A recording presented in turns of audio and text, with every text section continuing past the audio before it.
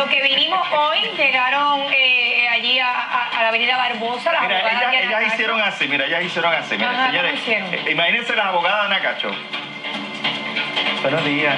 Mire que yo vengo, sí, mamita, te me sientas ahí y silencio. Que tú no estás, ah, te tienes que anotar aquí en esta lista, ¿sabes? Pero mire que yo vengo, no, no, no, no, anótese en la lista.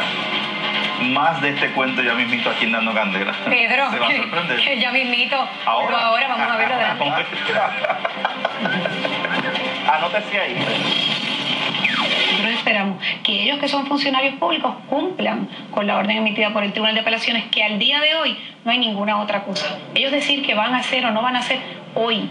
Hoy que conversamos, la orden es que Ana tenga la oportunidad de, eh, de ver a sus hijas. El intento de hoy, el primero de Cacho tras el fallo, quedó en nada. ¿Qué le contestaron? Eh, infructuosas las gestiones hasta ahora. Infructuosa significa que no la recibieron, no le hablaron.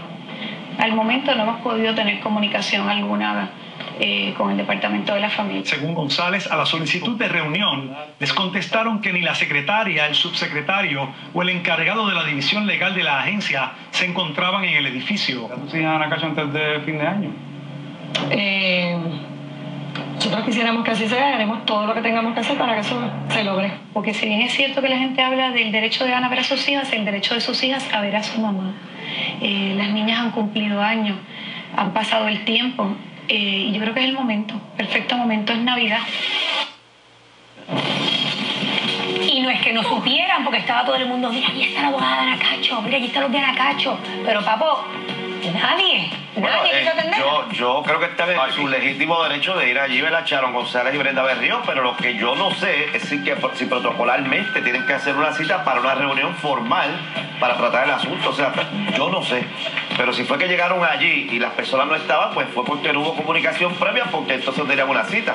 Así que, no sé, vuelvo y repito, si era que eh, tenían que hacer una cita eh, previamente o simplemente no la quisieron atender. Bueno, pero saben que si no las quisieron atender, Saudi, un caso tan mediático como este va a llamar rápidamente la atención de todo el mundo. Y estaban todos los periodistas, mínimo recibirla. Pase por aquí, señora, ¿usted quiere café? ¿Quiere algún bollito de pan para que mujer bollito Sí, de el café? a lo mejor le No, que tú sepas. No, pero es que ellas dicen que nada que ver. Nada, nada de nada. Que, nada, que ni las La realidad es que sea el caso que sea, esa oficina, esa agencia está para prestar un servicio.